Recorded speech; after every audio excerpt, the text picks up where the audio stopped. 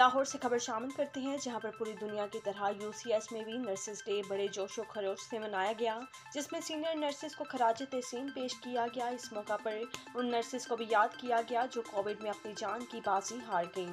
Nursing school की principal sister Naseem Parvez administrator Imran Titus medical director doctor Akash Matthew और senior nursing coordinator S P Shafiq और nursing staff ने खसूसी शिरकत की। Nurses day के मौका पर यूसीएच अस्पताल की नर्सिस ने मुख्तलिफ़ प्रोग्राम किए और आखिर में केक भी काटा गया।